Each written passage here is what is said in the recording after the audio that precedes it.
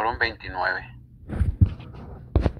Sí, el mármol es el que está abierto ahorita. Este, hubo algunos que, o sea, de los que encuentra también la policía en situación de calle y que son trasladados. Cuatro de ellos fueron, fueron llevados por elementos de la policía.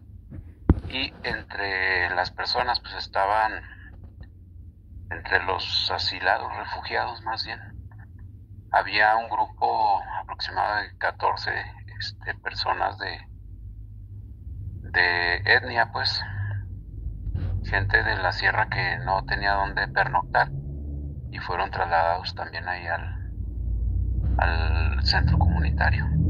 La verdad no te sabría de ahí al, o las llevaron al, al refugio. Entonces ahí eh, pidieron pernoctar y obviamente pues ya salieron ahorita en la mañana. Se les ofrecen bebidas calientes, puede ser café, puede ser este una sopa caldosa